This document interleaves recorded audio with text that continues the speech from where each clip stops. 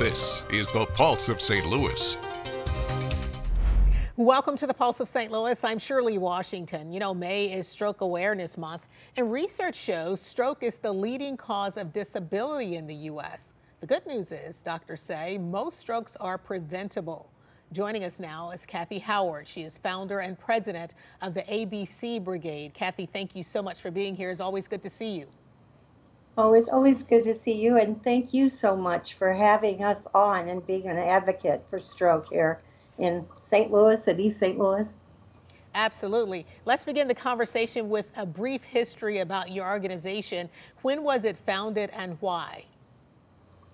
We started in 2011, and it was basically founded because I was a stroke survivor and I realized that there really wasn't a lot out there for survivors. Um, also had the realization that stroke was a topic that nobody wants to talk about and nobody thinks it's going to happen to them. And so we started out kind of as education and prevention, but clearly our passion has become living your best life post stroke. Um, and I think that our programs and everything are geared towards letting people and their families know that, you know, life is definitely different, but life is not over. Right, and you are living proof of that, that is for sure, and you've been doing a remarkable job educating the public about stroke. Share with Thank us, if you will, please, Kathy, your personal story. When did you have your stroke, and did you even realize you were having a stroke at the time? I was 55 years old. Um, I did not, stroke did not enter my mind at all, which I think is very common. Um, I was not feeling well and sat down on the couch and just this buzz, almost like a zipper, went from my toe up to my head. And I jumped up, and when I looked at the television, there was just this big hole there. And luckily, we decided, okay, this is something we better check out, you know, just to be sure. And uh, I was at the hospital all night. We thought it was going to be a migraine. You know, the CAT scans were clear. I got up to leave that next morning and down I went. I mean, I had a massive stroke on the right side of my brain. So my entire left side was impacted. Um, I could not walk at all, could not, had a thing called visual left neglect, which means I really could not observe anything on my left side. Um, it was not blindness, you know. Um, so there's been some challenges, but here I am. So how you know, did you I am recover, walking Kathy? unassisted. Yeah, yeah, and that, and that's what I want to talk about. How did you recover from the stroke, and how are you doing now? Oh my gosh. Well, um, at the beginning, it was very difficult. Of course, I was young. My kids um, had just kind of flown the nest. My daughter was in her last semester and uh, of college, and my son had just first job, and I'm just lying in my bed thinking, "Oh my gosh, we raised our kids, and now they're stuck with me. You know, they're on their own, and now they're stuck with me." And luckily, one of the nurses on the floor said, Could I bring somebody in to talk to you? And I said, Sure. You know, I don't know. Um, and her, this lady walks in, she's 83 years old, and she said, I had a stroke three weeks ago and I'm walking out of here today. And that was really my first aha moment because up to that point, I thought I was done. And um, she changed my life. And ever since then, my favorite thing to do is to go visit new survivors and let them know. And I was told that I probably would not walk again. And um, luckily, I was kind of like, well, we'll see about that.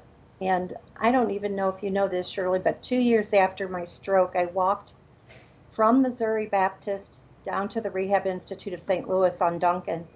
It was just short of 12 miles. Wow. And that is not anything I would have ever done before my stroke.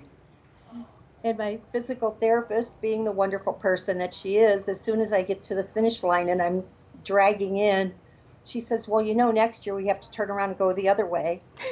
um, I, total therapy is what got me through, and I still point we'll try to go back every two years or so just to get what's called a tune up. Um, there's a kind of a myth out there that if you don't get everything back within six months, it won't come back, and that is totally untrue. Um, you can get things back for for as long as you want, as long as you keep working at it. It doesn't come back as quickly as it does in the first six months, but there's no saying. And the other piece of that is, so what if you have to do it a different way? We don't have to do things the way we did before. Right. And so you talked a little bit about um, your symptoms, Kathy. What are some of the common symptoms and signs that our viewers should look for that could possibly indicate stroke? Oh my gosh. If there's anything that I could stress to people, just think be fast. If you are if you think you or someone you know is having a stroke, you must be fast. And B stands for balance if uh, they're running into the wall or falling down or they just seem very off balance, that's a sign. Um, the E stands for eyes. So in my case, my vision went wacky first. Um, and that B part, not a lot of people have that. So it's very important to pay attention to those two too. Uh, F stands for face. If you look at someone and they're smiling, asymmetrically, so they're smiling on one side, but the other side's drooping. Um, that's a sign. And keep in mind that these signs are sudden and they're also on one side typically. It's typically on one side or the other. Um, S is speech. So you could ask somebody to repeat after you, it's a great day in St. Louis or something like that. And if it comes back kind of garbled, or they might even say something a little way off that's not related at all. That means it's time. T is time. And I can't stress this enough. Do not drive yourself. Do not have somebody drive you. Call an ambulance. Dial 911 because that is the quickest way to get the treatment that you need. And we are very much um, there's a saying out there that uh, brain loss or time loss is brain loss. And so the quicker that you can get treatment, the better. And when you go by ambulance, they've already contacted the hospital for you. And there is typically a stroke team waiting. Yeah, and so doctors say stroke happens when blood flow to the brain is blocked or disrupted. How do Missouri and Illinois rank in terms of the occurrence of stroke in the country? Not very good, Shirley.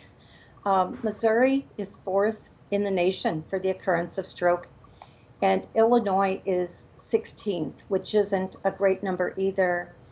Um, there's actually an area called the stroke belt down in southeastern United States, and it's made up of 11 states, very high occurrence of stroke. So Missouri is ahead of seven of those states. So we're not in a good place. And so doctors say a stroke can happen to anyone at any time.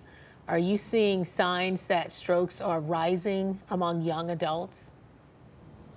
Uh, yes. Um, there was a study by the American Stroke Association, or was put out at least by them a couple years ago, that in the last several decades, there has been a 44% spike in stroke, in the occurrence of stroke in people under age 65.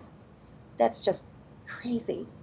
And uh, stroke can happen at any age. I mean, with COVID, a lot of our youngsters, our young people, um, were struggling with clotting and that sort of thing.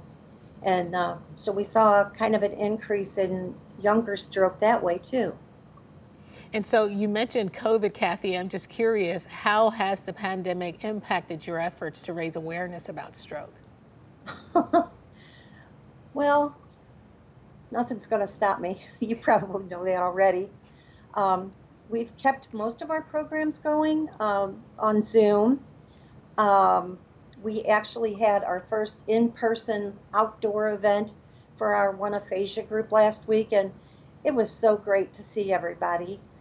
Um, we're very active on Facebook.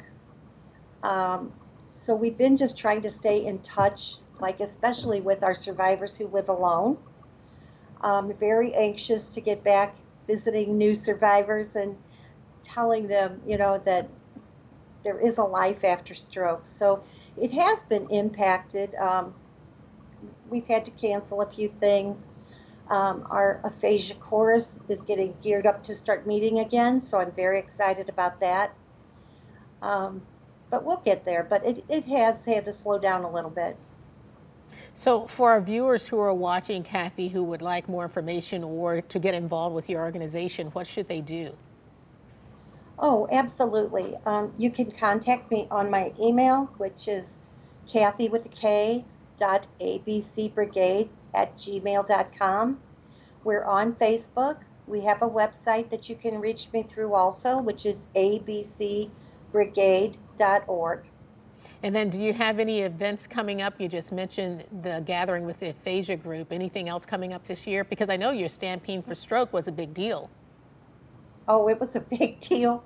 And I have to say, we did that virtually last year, and our sponsor still sponsored, and our runners still ran, and it was just so wonderful. Um, all of the proceeds go back into our programs and to stroke survivors and their families. So I'm very excited. Our, our golf tournament, which is called Strokes for Stroke, is August 6th, and that's going to be out at Aberdeen and our Stampede for Stroke, which is just an amazing event. To, if you want to see survivors who have conquered stuff, that's the thing to come to. It's amazing. Um, that's October 23rd at Creve Coeur Lake Park. Um, it's just a great day. Last year, or two years ago, it was 38 degrees and pouring down rain. And then last year was virtual. So this year is our 10th Stampede for Stroke. Wow. Well, so you're doing an amazing I, job in the community, Kathy, and I want to thank you so much for your efforts and thank you for being here.